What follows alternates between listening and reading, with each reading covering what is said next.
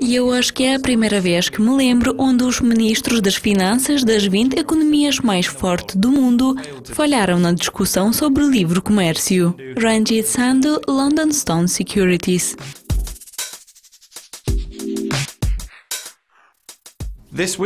Nesta semana vimos um conjunto de dados positivos da área de euro, incluindo o crescimento de negócio na área de euro numa alta de seis anos. Acha que esses dados econômicos positivos vão apoiar o euro contra incertezas globais como EUA e Brexit? A situação com os dados da Europa tem sido surpreendente, assim como os mesmos têm sido muito fortes. Obviamente, se olharmos para o que está acontecendo politicamente com as eleições na Alemanha, França, questões da FMI com a Grécia e também temos Brexit com o artigo 50 que está para ser declarado na próxima quarta-feira. Pela Theresa May, nesse segmento, todos pensavam que o euro deve estar sob a pressão.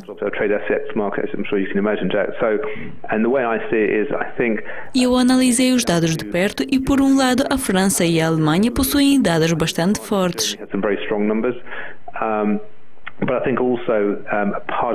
Mas por outro lado, a partir das outras estatísticas, podemos ver uma ligeira fraqueza que está por vir. Em termos de níveis, eu notei que o par euro-libra está ligeiramente aumentando mas continua ainda a ser um pouco longe do nível em que estava um par de semanas atrás. E eu acho que o euro vai permanecer bastante optimista agora em curto prazo, mas eu acho que na segunda metade do ano essa força vai evaporar. Os ministros das Finanças da UE estão preocupados com o futuro do livre comércio, depois de uma cimeira das nações da G20. Como os investidores devem considerar essa preocupação relativamente aos futuros acordos de livre comércio? Eu acho que isso é um verdadeiro problema. Eu acho que é a primeira vez que me lembro onde os ministros das finanças das 20 economias mais fortes do mundo falharam na discussão sobre o livre comércio. Nas reuniões não foram discutidos assuntos sobre livre comércio e como deve ser rejeitado o protecionismo e tudo o resto. Obviamente não é nenhuma surpresa que o Trump possui o poder e claro que o protecionismo e ajustamentos fiscais nas fronteiras são as suas políticas-chave. Isso não é coincidência que agora os 90 países membros decidiram não falar sobre isso. Em geral, a ideia dessas reuniões é sobre o comércio livre e movimento livre do capital através das várias fronteiras. Então esse presidente é perigoso e ele possivelmente pode ser precursor daquilo que está por vir. Ou seja, que os mercados podem ser negativamente afetados e haverá menos negociação, o que potencialmente poderá levar a uma guerra comercial.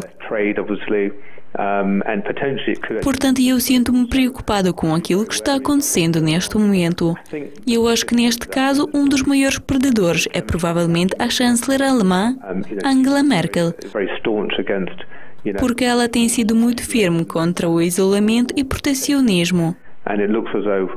E parece que o Trump conseguiu lidar com 19 contrapartes e ganhar. E eu acho que esta é má notícia. E por último, qual é a sua previsão para o dólar do Juá? Será que continuará a enfraquecer? Eu acho que sim. Isso é bastante surpreendente porque agora parece que a Janet Yellen vai continuar a aumentar as taxas de juros no Juá.